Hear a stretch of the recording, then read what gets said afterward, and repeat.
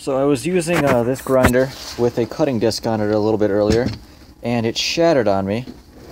And uh, about an hour or so later, after I got through with putting the lights on the trailer, I came back here and I noticed there was a hole in the window.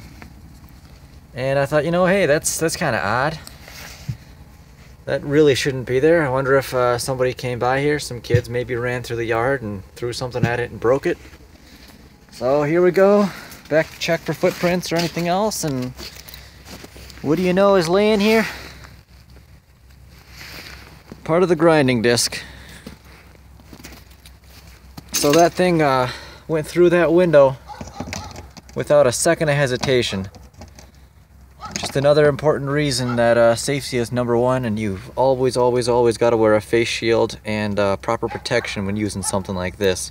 It may not seem like a big deal, but that could have came the other way and that could have hit me and that could have done some serious damage to me. So I'm very lucky it went through the window instead.